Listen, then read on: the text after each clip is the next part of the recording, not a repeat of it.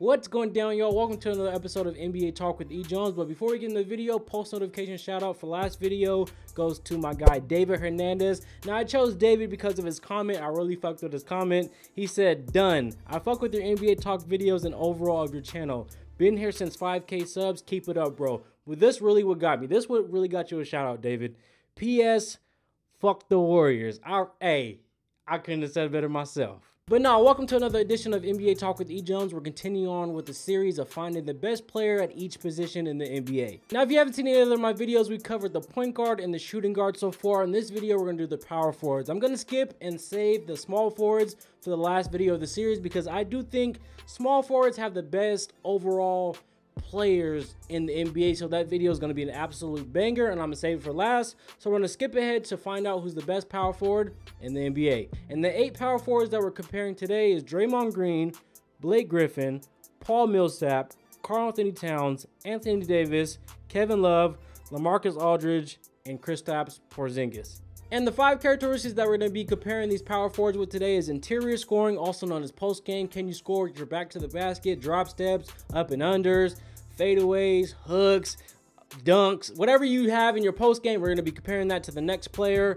Interior defense, can you guard the paint, shot blocking, guarding your man, banging bodies, guarding bigger players, guarding small forwards. I don't fucking know. Interior defense, you guys know what it is. Pick and roll defense. Are you able to switch onto a smaller guard, get your hands in the passing lane? Being able to switch on any position in the NBA is key. And the fourth attribute is pick and roll offense. After you set the screen and the point guard passes to you off a pick and roll, what are you able to do with that? Are you able to play make for others, score, pick and pop, dunk on somebody, alley oops? That's what pick and roll offense is. And last but not least, with the with the NBA being such a three point dominant league, being able to be a stretch four in today's NBA is an added addition to your game. So three point shooting is the last and final attribute we're going to compare these power forwards with.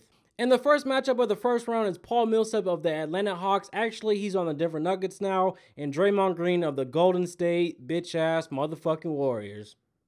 But no, in all seriousness, let's start at the bottom with three-point shooting. I have to give a check mark to Paul Millsap. I think his game is evolving to him being more of a stretch four. I think he takes more threes than Draymond, but even if he didn't take more threes, I think he's a more capable, better three-point shooter than Draymond. So check mark goes to Paul Millsap. Going up to pick and roll offense, I do have to give a check mark to Draymond. Once Steph gets double teamed or trapped off the pick and roll and they throw it to Draymond, his playmaking ability outweighs the scoring ability of Paul Millsap. So check mark for pick and roll offense goes to Draymond. And going up to pick and roll defense, in my opinion, I do think Draymond's the best overall defender in the NBA. He's able to guard all five positions at a high level. He gives 100% on the defensive end every game. That's part of the reason why I do fuck with Draymond out of all the Golden State Warriors. If I had to take one Warrior and put him on the Cavs, I would take Draymond just because of his effort on the defensive end. So his ability to switch on the smaller players, small forwards, centers, whatever the case may be, he's able to switch. So pick and roll defense, have to give him a check mark to Draymond.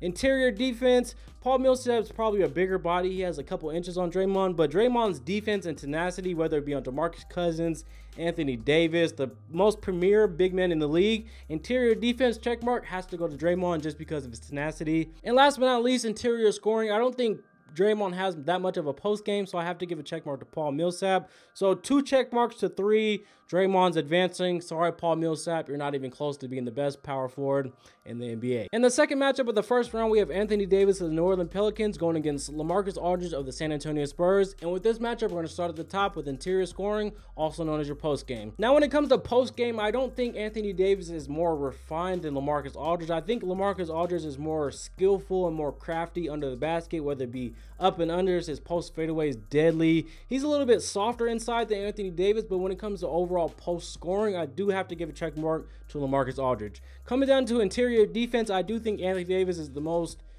dangerous or effective shot blocker in the NBA due to his length and athleticism. So interior defense easily goes to Anthony Davis. Pick and roll defense, whether you're not whether you're able to or not be able to switch onto a smaller guard. LaMarcus Aldridge kind of plays with like his back is broken. He's very stiff immobile. I do think Anthony Davis is more capable to switch on a smaller guard or a small forward, shooting guard. So pick and roll defense, have to give a check mark to Anthony Davis. And coming down to pick and roll offense, this is very interesting because we probably have the best pick and pop player in the NBA with LaMarcus Aldridge. His mid-range pick and pop is second to none in the NBA. Like he really doesn't miss mid-range jumpers.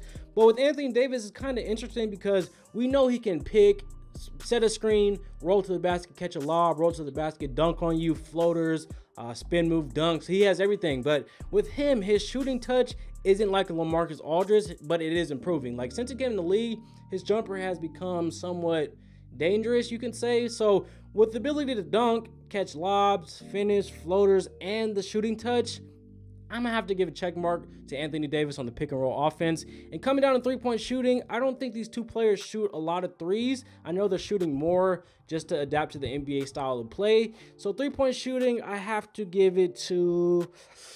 I think LaMarcus Aldridge is a better three point shooter than Anthony Davis, even though I do think Anthony Davis is a capable shooter. So, with that being said, I do think it's three check marks to two. Yeah, three check marks to two for Anthony Davis.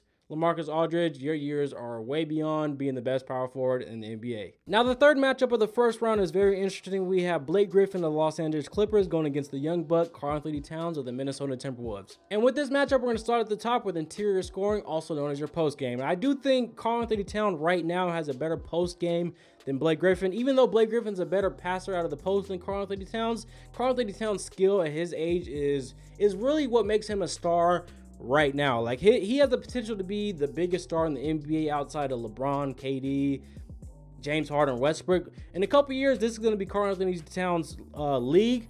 That's because of his skill set. So I do think he has a better post game and he's a better interior scorer than Blake Griffin right now. And coming down to interior defense, this is kind of interesting because with Blake Griffin being such an athletic freak, you would think he'd be a better defensive player, like with shot blocking. But that's kind of one of his knocks on his game. He's not really the defender that we all think he should be due to his hops and his physical uh, abilities, his bodies. like he's really fucking big. So you think he'd be a better interior defender than he is. So I'm gonna have to give a check mark to Karl-Anthony Towns because Karl-Anthony Towns is a wonderful shot blocker. He can hold his own on the block.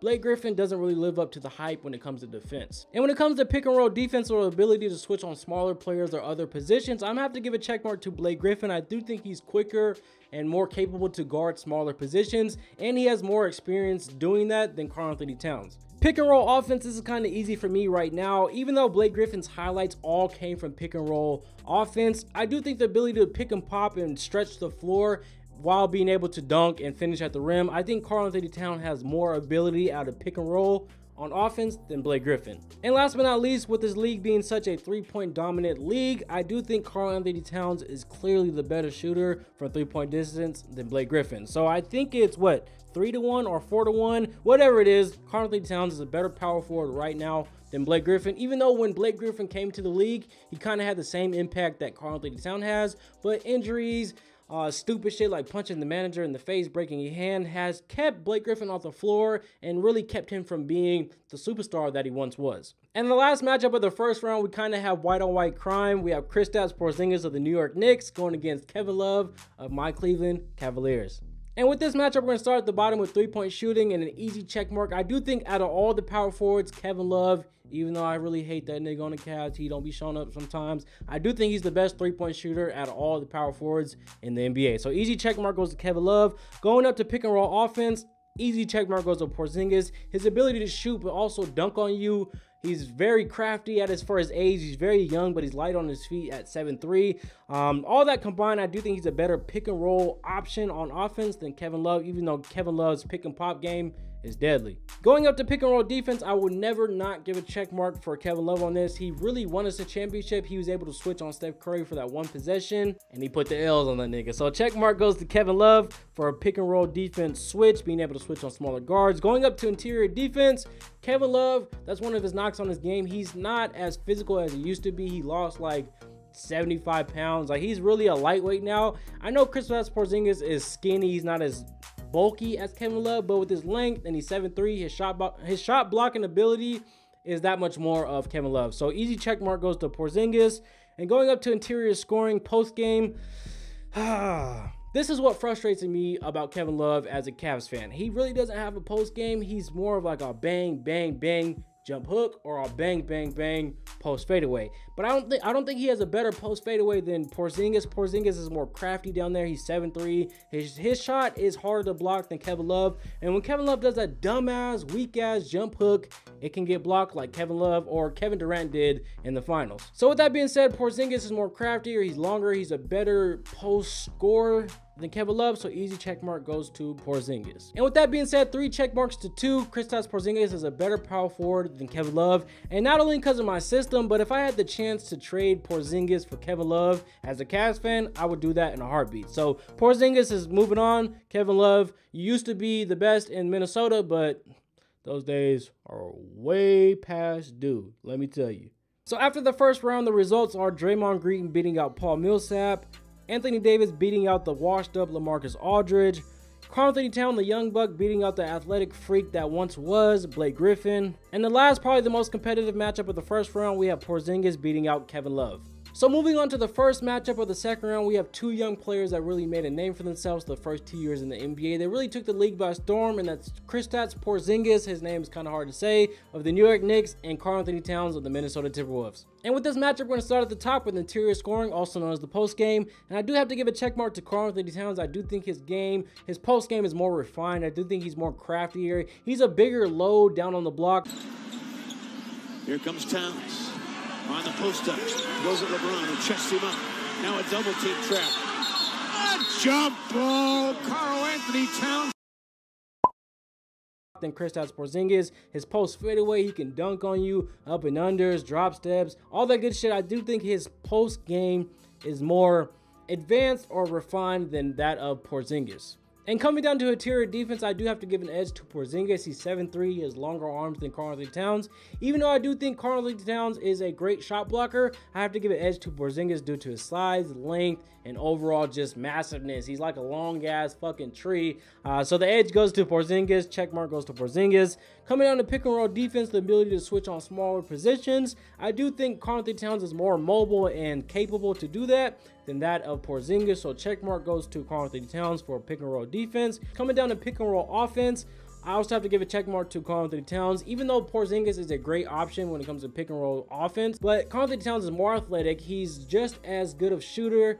Uh, he can dunk on you, catch lobs. He has touch, floaters, runners, all that good shit. When it comes to pick and roll offense, there's very few better options in the league than Karl-Anthony Towns, so easy check mark goes to him. And coming down to three-point shooting, I do think Porzingis' game relies more on three-point shooting than Karl-Anthony Towns, and I do think overall he's a better three-point shooter, so check mark goes to him. So if I'm correct, three check marks to two for Karl-Anthony Towns. He moves on. Porzingis, I really enjoy watching you play. They call you a unicorn for a reason. We've never seen nothing like you. 7-3, can shoot, handle, post game, catch lobs, block shots. He's amazing. But when it comes to Karl-Anthony Towns, we can all agree the league better watch out because he's coming for sure. And the last and only matchup in the second round, we have Draymond Green of the Warriors going against Anthony Davis of the New Orleans Pelicans. I'm already laughing because I think two years ago, Draymond Green said if he was 6'10", he would be Anthony Davis, which is kind of laughable because Draymond Green does not possess the skill and ability that Anthony Davis does. Very few people in the NBA or in history have the skill that Anthony Davis does, and Draymond Green just doesn't possess the same skill and ability that he does. But anyways, let's start at the bottom with three-point shooting, and I do have to give an edge for Anthony Davis. I think we all can agree he has a better touch than Draymond Green. Even though Draymond Green is a capable three-point shooter, I don't think he has the same touch from outside that Anthony Davis does. Going up to pick and roll offense, like I said, uh, Draymond Green's playmaking ability out of the pick and roll when they trap Steph is amazing. It kind of it's kind of what is the advantage when they go against the Cavs in the finals. When they trap Steph like we normally like to do, he pitches it over to Draymond, and Draymond's able to go four on three against the Cavs defenders. So Draymond Green's playmaking ability is an added addition to his game, but I don't think he has the pick and roll ability on offense that Anthony Davis does. He can shoot, pick and pop. He's a willing passer. He's not the passer like Draymond, but he can catch lobs off pick and roll. He can dive to the basket, dunk on anybody in the NBA. Floaters, runners, spin moves, all that good shit. Easy check mark, pick and roll offense for Anthony Davis. Pick and roll defense, the ability to switch. Like I said, Draymond Green probably the best overall defender, defensive player of the year for a reason, and his ability to switch on to smaller guards and guard all five positions is really what made him win defensive player of the year. So easy check mark for pick and roll defense or the ability to switch. Going up to interior defense, like I said, Anthony Davis is probably the best shot blocker in the NBA. Even though Draymond can hold his own down there and he's also a great shot blocker, interior defender, his level of defense inside doesn't match that of Anthony Davis. So check mark goes to Anthony Davis. And last but not least, going up to the top two interior scoring, also known as post game. Like we all know, Draymond Green purely plays off energy and effort. He doesn't really have a post game, but even if he did, we all know Anthony Davis gets busy on the block. So easy check mark for post game goes Anthony Davis. I don't know if it's three to two or four to one.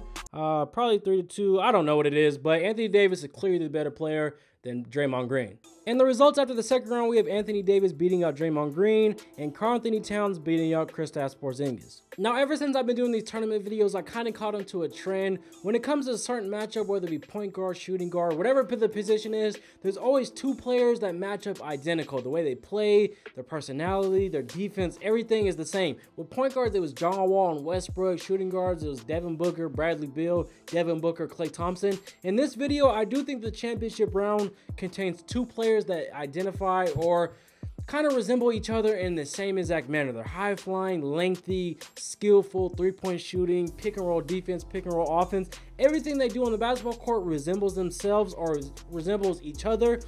Ah, so this one should be very interesting. So with that being said, let's start at the top with interior scoring, also known as post game. We all know Anthony Davis gets busy on the block. He scored 60 points, grabbed 20 rebounds in the same game. Like he owns the paint. He's a high flying athletic freak.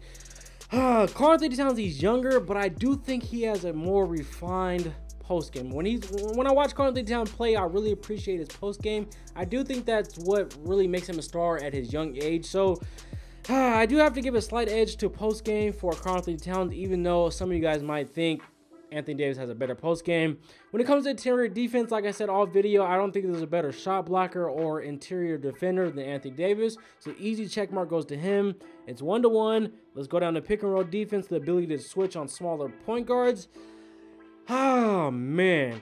I'm gonna have to give an edge to Anthony Davis just because I do think he has more experience in doing that.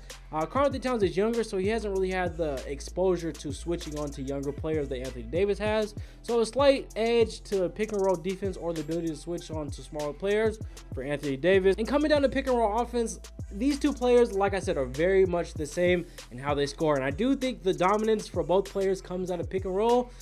So when I'm trying to think of how they play my mind and visualize their highlights and, and me watching film, I, my mind is telling me there's only one way to go, and I do have to give the check mark to Anthony Davis because when I do think of how dominant Anthony Davis is, he's a top five, six player in the NBA. All of that dominance comes out of pick and roll, whether it be pick and pop. He's a better finisher than Karl Anthony Towns. He could catch lobs, floaters, runners is a big part of his game. So if I had to choose, I do think my mind, my instincts are telling me Anthony Davis, so check mark goes to him. And coming down to three-point shooting, the last and final attribute would probably dictate, what is it, one for Anthony Towns, Anthony Davis, Anthony Davis, Anthony Davis. Damn. So I'm to just give three-point shooting to Anthony Towns. I do think he's a better three-point shooter. Uh, but with that being said, three check marks to two. Anthony Davis, you are the best power forward in the NBA. I'll fuck with you. And let me go back to these two players one more time, even though we decided that Anthony Davis is the best power forward. When it comes to Karl Anthony Towns and Anthony Davis, I don't even think these two players have reached their potential at all. I do think Anthony Davis has the potential to be something we've never seen, like Tim Duncan times two. And when it comes to Karl Anthony Towns with his size length, scoring ability, touch, all that shit, and he's so young, I think his potential can overmatch that of Anthony Davis, Tim Duncan, KG. I really think highly of Karl Anthony Towns, but right now I do think Anthony Davis is the best power forward in the game. Even though Karl Anthony Towns is coming for the league, he's very, very scary. Uh, I don't think there's no other player in the NBA you would trade for Karl Anthony Towns due to his age. So with that being said, this video is probably my favorite one so far. So that's to do for this video. Hopefully you guys did enjoy. Leave a like if you did. It will help out the channel a lot. Subscribe to my channel if you're new, you like my content. For a post notification shout out in my next video, just hit the bell, turn on all post notifications, and comment when done. But other than that, I will see you guys in the next video. I'm out.